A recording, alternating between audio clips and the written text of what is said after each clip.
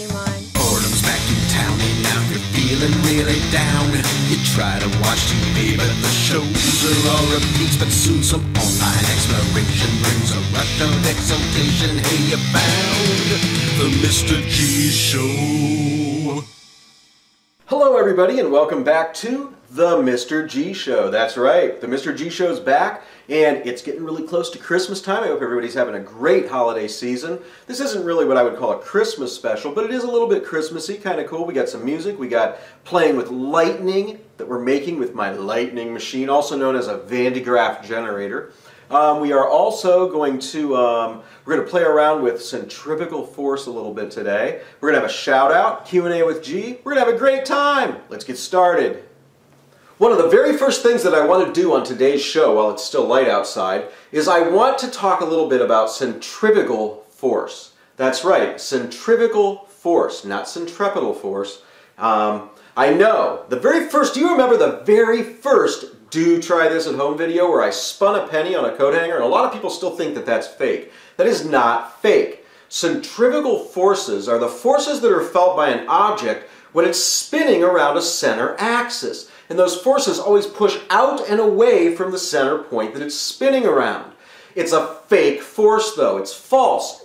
The object itself feels the force, but the force is really not a real force. What do I mean by this? Well, it's simply the object wanting inertia, wanting the object to continue to travel in a straight line, and therefore it is pressing against the stationary object that is circling around the center axis. Now, what I've built here is I, am going to call this the inertia table, or the inertia platform.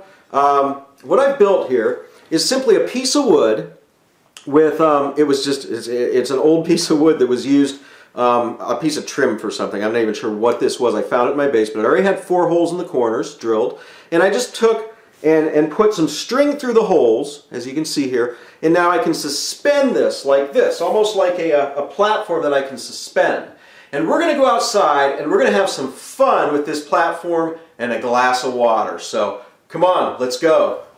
Okay, we're outside. We've got our glass of water. You can see that's a real glass of water. We've got our platform. Now I told you it's imperative that the platform's level. This is real glass too.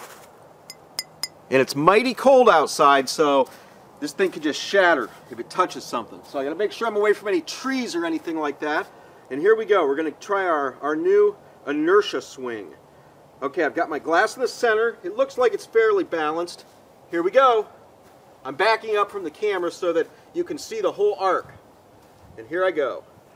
That glass is pretty full. I hope this works. Wow. I'll slow this down for you too probably so you can see it even closer and I'm going to try to stop it. Whoa, we did it.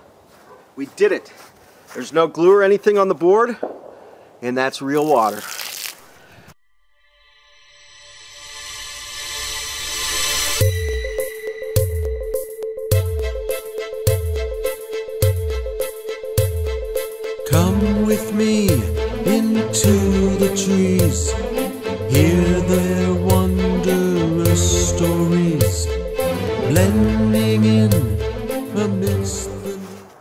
Water trick went so well that I, I decided to try one more thing. I'm going to take an egg and I'm going to balance it in a bottle cap, just like that. We're going to put that on our inertia swing and we're going to see if it actually, like this. See that? Look at that. We're going to see if that actually can balance. Wow, it's really unstable already, but we're gonna try it. Here we go. I could end up with egg all over me. I'm gonna go back here by these trees so that you can see the, a, a wider arc. Here we go. Wow. The egg is balanced right here. Now I'm gonna come a little bit in. I'm gonna move it around this direction, change the arc of the swing so that you can see the back end of that swing and you see the egg. And I'll slow this down for us as well. And I hope that egg doesn't fly off there and hit my camera. That would stink. We're gonna try something. We're gonna go over our head like this. Look at this. Look at that. The egg is still on there as well. Whoa, oh, the egg fell off that time. Uh-oh, it's lost in the snow. Our egg, there it is. The egg was lost in the snow there. Now, is this a real egg? Is it a real egg? Is it a raw egg? Let's find out. We'll take our glass that we used earlier. Look at that. Plop. It's a raw egg. That was pretty cool. amidst the leaves, watching creatures silently.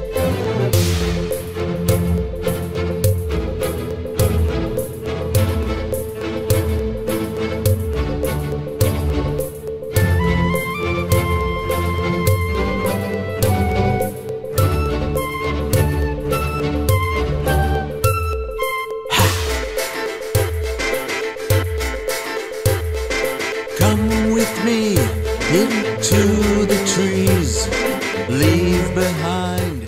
Sitting here by my nice warm fire for another Q&A with G.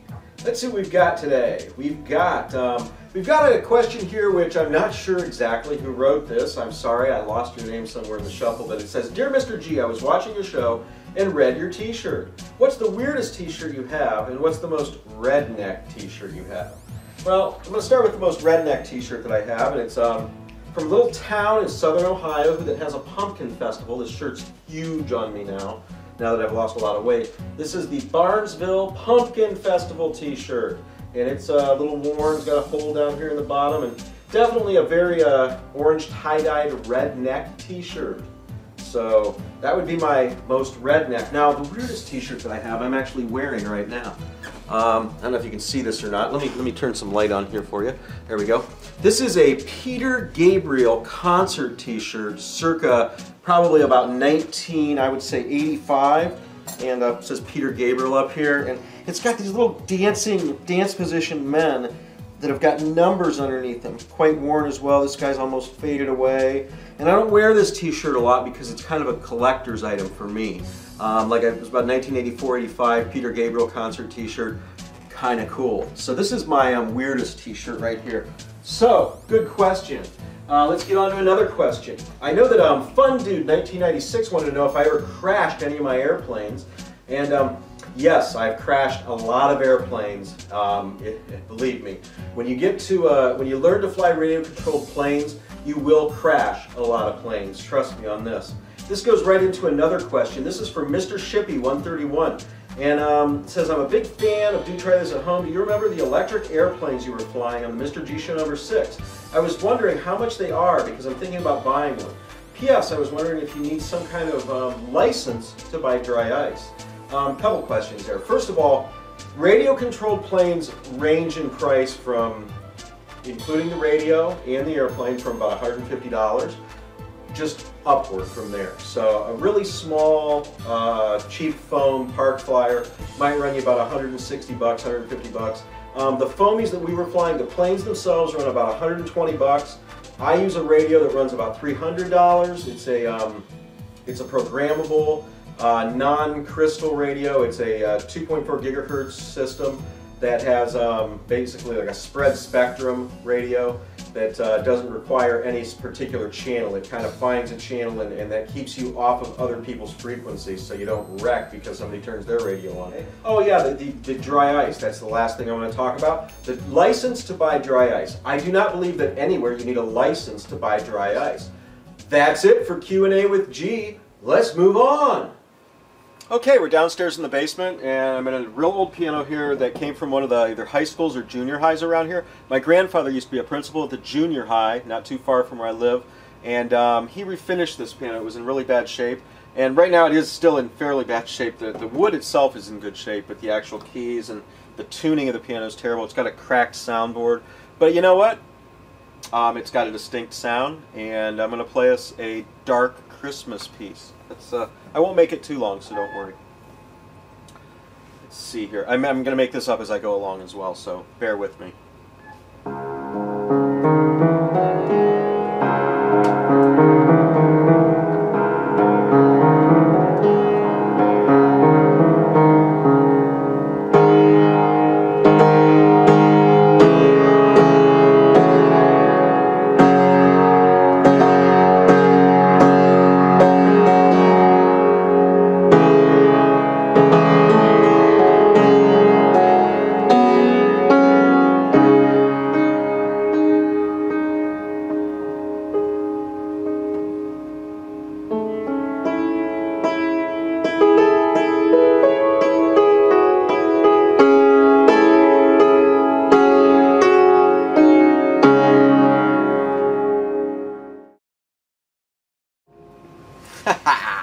a haunted Christmas. I'm just kidding around. Let's go have some more fun. Come on. Just sitting here grooving out to some awesome electronica by a YouTube friend of mine named Matt Zildjian. Excellent music, Matt. Now, I'll tell you what I'm going to do. I'm going to put a link to Matt's uh, music here in the description of today's video or today's show because um, I think it's worth a listen. I think you guys would like it. So, um, that brings us to, let me turn the volume down just a little bit here and I'll just let it play in the background while I do today's shout out. That's right, and today's shout out's going to Puppy Stomper 324, The Noodles Are Lumpy, 1337 Chicken Warrior, Daniel Carmi 305, 000 Hacker, The Ring 0010, also known as AJ Bush, Aaron Flay, Zachary, or should I say Mini MJ 155. Um, we've got Thumper 51000. We've got Super Ninja Ducky. And um, we've also got Mr. Shippy 131. We've got Wicked Lover. We've also got, um, oh, this uh, shout out goes to the whole family and Mr. 007. Hi, 007 and your whole family. And also a special shout out to Harrison who's up visiting family all the way from Wichita Falls, Texas. Hey Harrison, I hope you're having a great Christmas, and um, I'll see you. So, here we go with today's shout out. I read all those off my laptop, and we got Matt's music playing in the background. And I'm to actually, uh, for today's shout out, let me, let me mute your music here, Matt. Here we go. I better get a, a drink of water. Here we go. The shout out.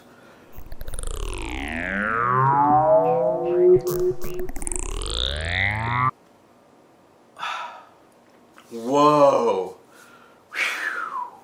My last episode of Do Try This at Home with Mr. G, I was playing around with something called an electrophorus that basically using the triboelectric effect, um, or using tri utilizing triboelectric charge, I was able to lift that metal plate up off of the styrofoam plate and it would cause it to charge up.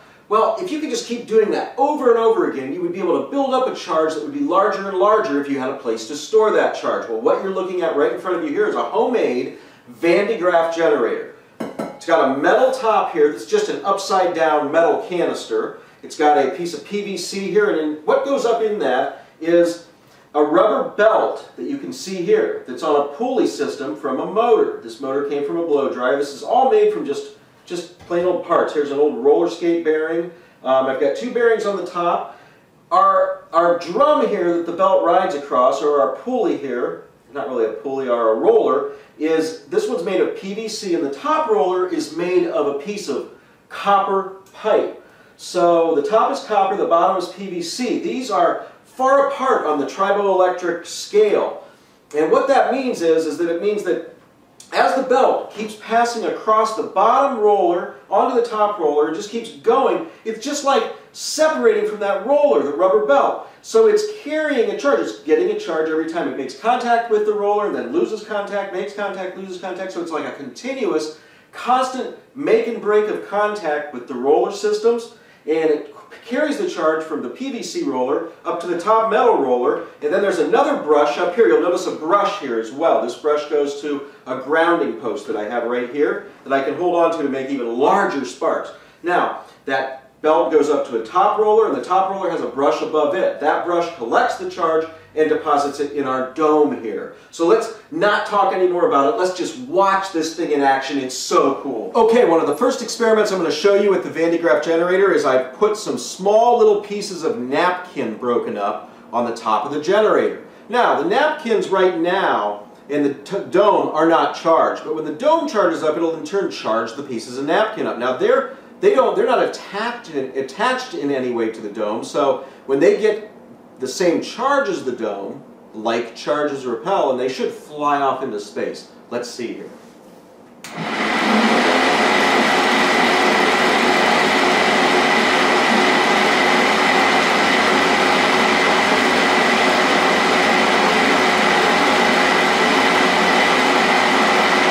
Okay, most of them flew off into space as you saw, which was very cool. Now when I discharge the dome, you'll see that that goes back down on there. So that was our first little experiment. Now, the next thing we're going to do is I'm going to turn off the lights, and I can't talk to you while I do this, so I just want you to know I'm going to use my arm to draw sparks from the generator. Now, this voltage is in the neighborhood of 150,000 volts to make sparks as long as you're going to see. You're also going to hear ticks more than you'll see sparks. The ticking sounds are the arcs hitting my arm.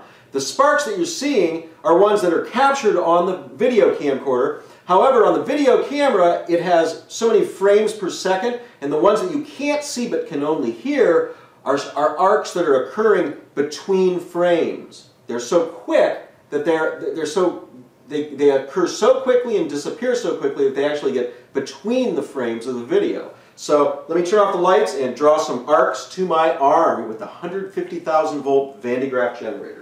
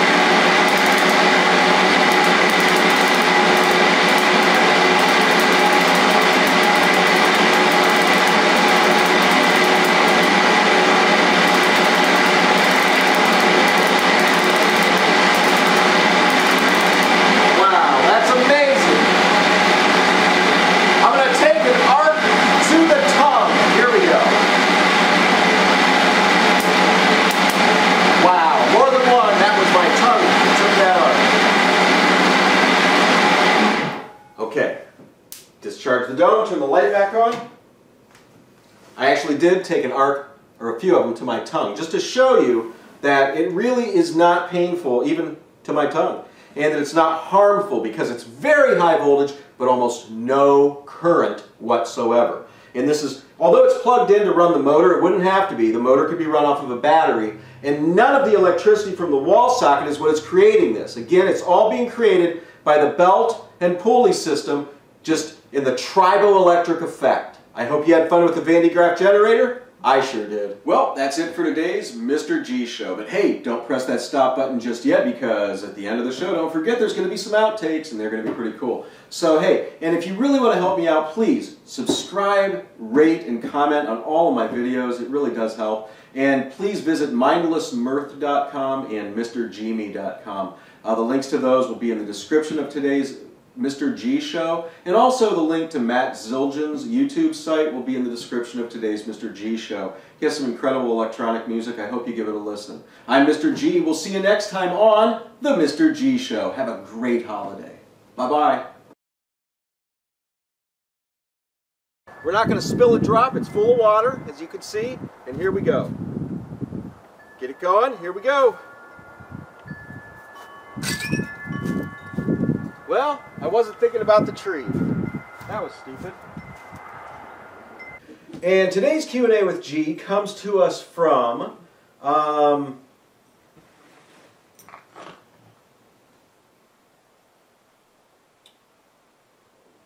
Gee, I don't know. Okay, you'll remember that in our last Just for Fun with... No, I'm sorry, that's wrong. Was not Just for Fun, it was the Mr. G Show. Alright, you'll remember that in our last Mr. G Show, I was playing around with something called the triboelectric effect using a device that was called the... Um, uh, okay, you'll remember that in the last Just...